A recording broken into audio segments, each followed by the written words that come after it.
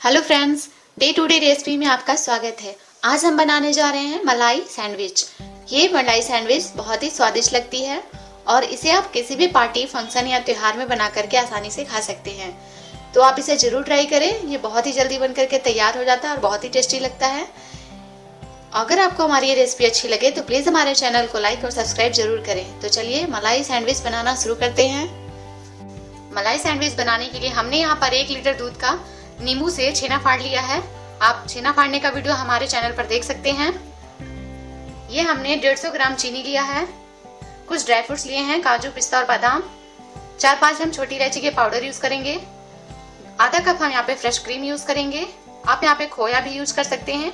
या जो हम जो हम दूध गर्म करते हैं, उससे जो मलाई निकलती है, उसका भी मलाई का हम क्रीम यूज़ कर सकते हैं। थोड़े से हमने यहाँ पर येलो कलर लिया है और थोड़े से हम सेफ्रॉन यूज़ करेंगे।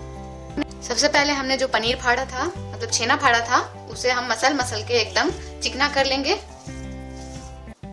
खूब ऐसे ऐसे मसल मसल के इसका चिकना करके पाँच दस मिनट, पंद्रह मिनट जितनी देर में हमारा ये चिकना हो जाए।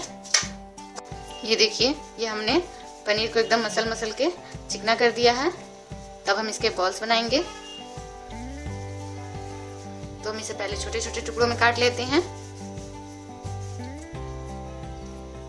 ऐसे ऐसे।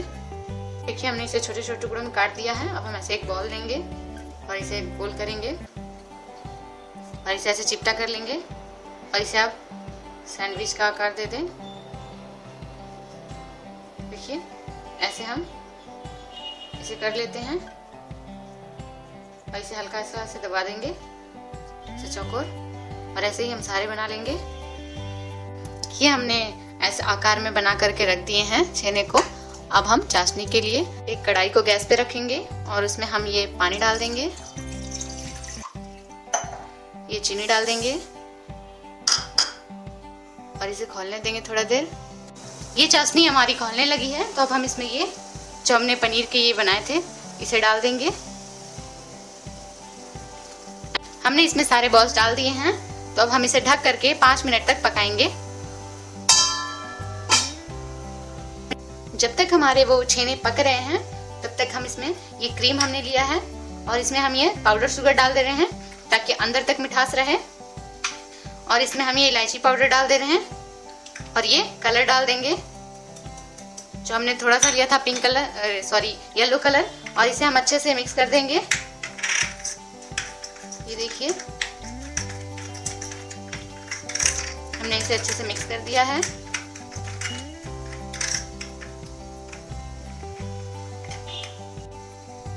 अब हम इसे खाकर देख लेते हैं। ये देखिए, जो चाशनी में हमने छेना पका रहे हैं, वो कितना फूल करके बड़ा हो गया है। तो अब ये पक गया है, इसे पकने में केवल पाँच से छः मिनट लगे हैं। हम गैस को ऑफ़ कर देंगे और इसे थोड़ा ठंडा होने देंगे। या फिर इसे हम एक बॉल में निकाल लेंगे और उसमें ठंडा होने देंगे। ये जो हमारा छेना था, ये ठंडा हो गया है बिल्कुल। तो हम इसे चाशनी से अंदर से निकाल के इसे हल्का सा ऐसे करेंगे। हल्का, ज़्यादा नहीं करना है। और इसे ऐसे चक्कू की सहायता से हल्के हाथों से हम बीच से काट लेंगे। ये देखिए, ऐसे काट के हम सारे छेने को रख लेंगे। ये देखिए, हल्के हाथों से एकदम करिएगा। ये देखिए, ऐसे ही हम सारे छेनों को काट लेते हैं। ये देखिए, हमने ये सारे छेनों को काट लिया है बीच से। तब हम ये जो क्रीम हमने बना के रखा था इसे हम इनके बीच में ऐसे लगा देंगे। चारों तरफ़ फैला के। और ये दूसरा पार्ट हम इसके ऊपर ऐसे रख देंगे। ये देखिए। और ऐसे ही सारे क्रीमों को हम सभी छेनों के अंदर भर देते हैं। अब देख रहे हैं हमने छेने के अंदर सारा क्रीम भर दिया है अच्छे से। ये देखिए। और इसे अब हम गार्निश कर लेते हैं एक प्लेट में रख के। ये हमारा छेना सैंडविच बन करके तैयार है। और इसे आप कभी भी आसानी से घर में, कभी भी किसी पार्टी हो या फ़ंक्शन हो या त्यौहार हो, मेहमानों को आसानी से घर में बना करके आप किसे खिला सकते हो। तो आप इसे ज़रूर ट्राई करें, बहुत ही स्वादिष्ट लगता है। अगर आपको हमारी रेसिपी अच्छी लगे तो प्लीज़ हमारे चैनल को लाइक और सब्सक्राइब ज़रूर करें। धन्यवाद।